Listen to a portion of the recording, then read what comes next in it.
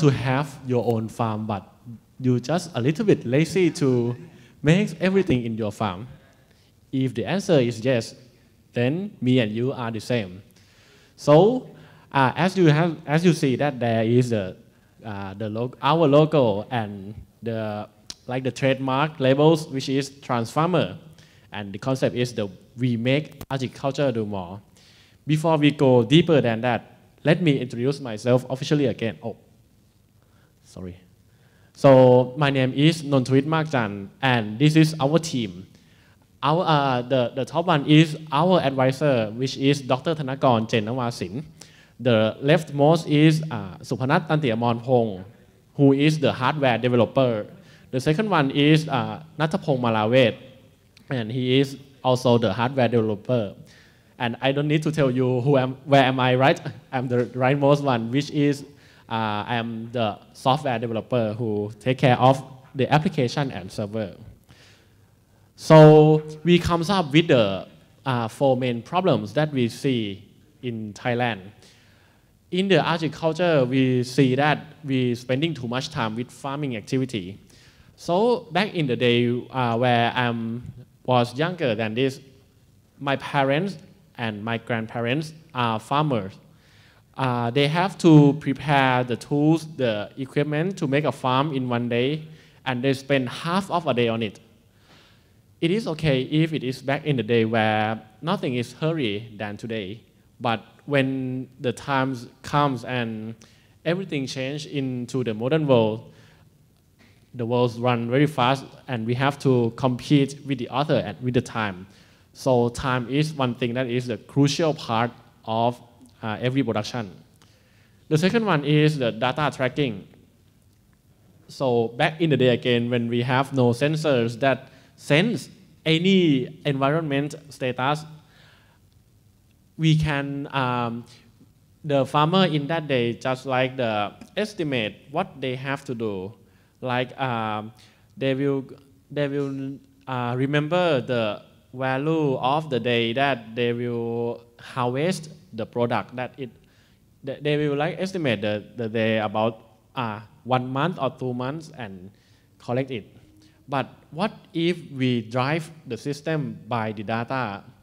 So if we attach the sensors from our assumption, it will track the like the uh, essential value, which is temperature, humidity, uh, brightness, pH value, and so on. So we can use this data and calculate and find the best uh, action to do with our farm. The third one is planting and accumulating quantity. So back in the day again, we do the farm by using the people, the, uh, the power of human. But with, when the machine comes, it takes advantage more than human because they don't know uh, how to tie and like like like uh, all of us know that the machine works better in the repetitive work so we try to apply the machine to it, and you will see what, uh, what is the machine in this case. And because all of these, these three problems will make the advantage in competition. So if we um, access to the technology faster, the more advantage we will gain faster too.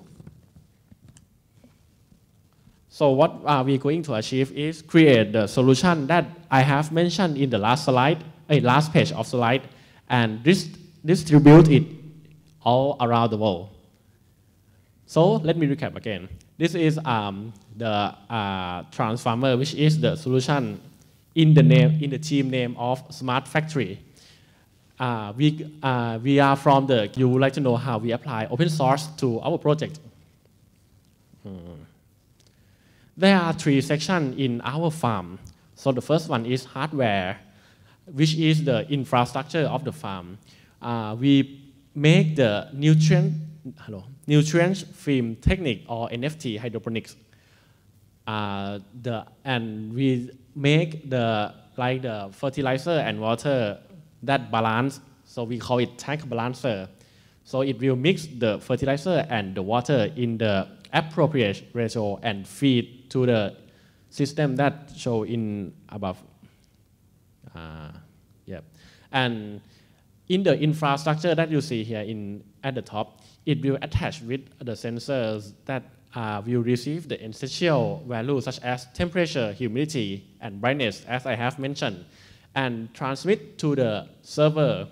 We use two, uh, two platforms with uh, Google Firebase and, uh, and Node.js, but we mainly use in the Google Firebase because it, um, it has more modules and functions that we need.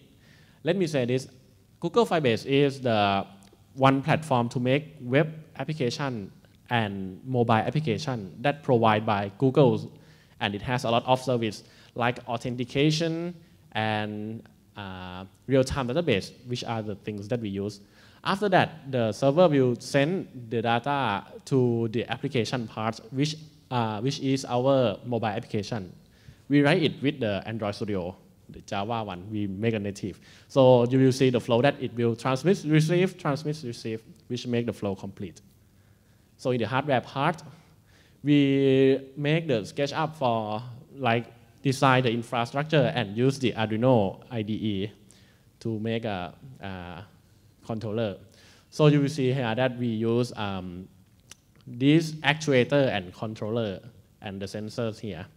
The, the top one the top one is the controller that is the Node MCU. It has the chip of ESP8266 that can make you connect to the internet. And we connect, we sorry, we connect the uh, Node MCU with Arduino Mega. The Arduino Mega will um, will connect to the relay. The relay will uh, tell the actuator, which is motor, the water pump, the light, to work. It also connects to the sensor, which are the humidity sensor, IR sensor, water level sensor, and the missing one, I'm not sure what it is.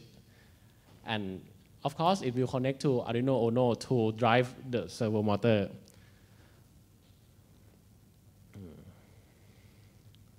So this is how we work. Uh, I forget to tell you that our project is make it in one month for making for going to the competition, and it's like everything is uh, fastly set up. So as you can see that we connect the the part of the PVC pipe and the frame, the metal frame, as you can see. We use the screw ball to make the like the mechanical arm. So when it is when you want to harvest or plant, the motor will go up and down and left and right by the screwball. So the mechanic will like uh, it will it will rotate here and it's like going up like this. So if you go to the barber and you see some like some uh, cylindrical that is roll up, it has the same mechanic as it is and the final one is like it has the mechanic arm here that can keep and pull it out. So you will see that we, uh, at, we install the frame and connect with the servo which drive by the Arduino as, you, as I have mentioned here. So it have the mechanic that can, as, as you can imagine. And now this is the part to the part that we install the tank balancer, which will mix the water and the fertilizer in the appropriate ratio. So you will see here. And the final form is like this. This black bucket has the fertilizer of A and B. It, it is the chemical fertilizer that is called A and B. Yeah, and mix with the water here and feed it through the PVC. Okay, and now it is my my part, which is the server. So this is the like the Firebase. The uh, Firebase look like this. And we set up the real-time database as here. So it is the simple one because we don't want to make it complex. Um, this is the part of the admin, admin, so they can see the humidity, uh, the brightness, and the temperature. So inside this, we have like a lot of values inside there. And for the users, um, I, regist I register by using the, the Google authentication. So when you log in via application, it will uh, connect and get this value and compare to the real-time database here. And this will uh, show the information of that uh, user that um, how many seeds does he have, uh, how many farm does he have, how many plants that they that he or she plant and they already seed something like that. So, so uh, example, this person have one farm. So one farm has three rows as the previous slide show. And in one row there are five, uh, five position of vegetable. So if he would like to harvest, the, uh, the controller will send the data to the server here. Like if, if he want to uh, harvest the vegetable on the row one, position one, it will send the value to here and it will check, oh, sorry. It will check and it will um, tell the controller to keep. So it's like the two-way communication. So this is the authentication part of the Google Firebase. And the final part is about the application. Yep. So we uh, use the Android Studio and deploy it to the Google Play here. And the, the code is uh, that there are a lot of things in it. So we just put the final form of our application. So you will see that the main login is here. And this is the like the, the main menu. The main menu will be here. And this is like the profile. So you will see that the data from the server will be linked to here. So it connects together that um, this name is uh, the competition provider, which is a Jinpao precision industry. I go to that competition and I just name it as the Jinpao automation. So the, uh, this is the dummy data that I have set up, but this data is come from the Firebase. This is where the open source come. Uh, after uh, uh, we apply the code in the GitHub that is free to make the gauge as a real time. So when the value of the temperature is going up, it will go to the right, and when it goes down, it just decrease as it should be. So, so it will it will have some stuff like this. It will tell the user that uh, there are the available space for planting the plant, and that will tell you the age of your plant, something like this. So if you want the plant, you just simple click it in your smartphone here, and if you have a text like this that uh, do you want to plant, you, uh, which is using one seed, and you have the 974 seeds left in your database, something like that. So after it plants, yeah, uh, after you confirm, the the, the value from the application will send to the server, and the server will send to the node MCU that I have shown you in there. And the node MCU will tell another controller to control the uh, motor to keep. So as simple as that. This is another page. And we just deploy it in the Google Play, yeah. I hope you don't download it and play because um, the server is not stable yet and the application too.